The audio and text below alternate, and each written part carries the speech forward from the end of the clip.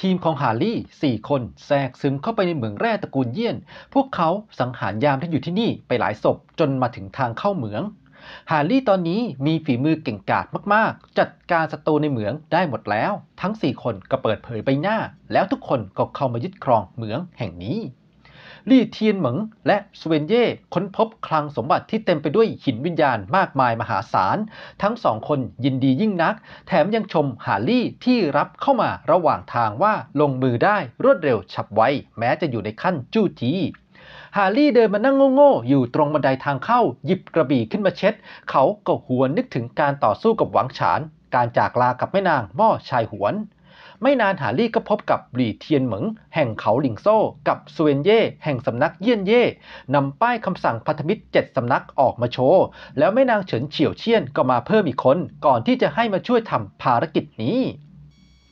แม่นางเฉินเฉียวเชียนก็ออกมาทักทาย ฮารี่อยากรู้ว่าสองคนนั้นจะพาเราไปที่ไหนอีก แต่เฉินเฉียวเชียนก็ไม่รู้อะไรเลย ฮารี่จึงว่าภารกิจนี้มันแปลกๆ ขอให้ศิษย์พี่ระวังตัว ก่อนขอตัวออกไปลาดตระเวน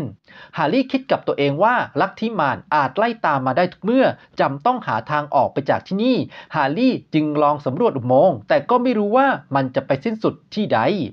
ที่ไหนสักแห่งกองทัพของหวังฉานจงอู่มารายงาน ขอแสดงความยินดีกับนายน้อย ที่จัดการเยียนจาเป่าได้โดยไม่ต้องต่อสู้ แต่หวังฉานผู้หัวเสียสั่งให้ใส่หัวไป เนื่องจากหวังฉานถูกถอดออกจากแนวหน้า